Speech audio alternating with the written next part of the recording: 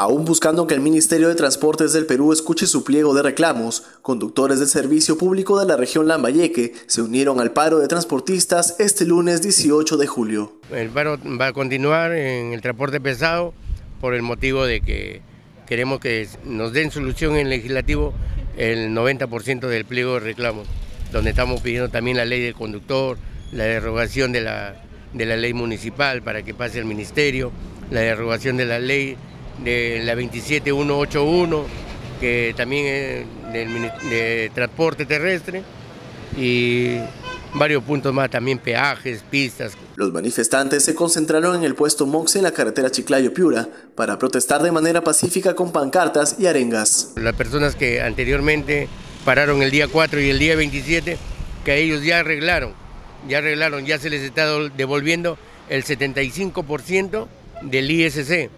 Nosotros estamos pidiendo la eliminación total. Como se conoce dentro del pliego de reclamos, figuran el alza del precio del combustible y de insumos indispensables para el servicio que brinda el transportista. Porque en realidad se está pidiendo la baja de la eliminación total del ISC al combustible, tanto sea petróleo, gasolina y gas. Y el gas más que todo que lo, lo utilizan todas las amas de casa en sus hogares. Por eso estamos pidiendo para que se mantenga o baje el, precio de combustible. al, al quitarnos el ISC, está bajando el combustible a nivel nacional.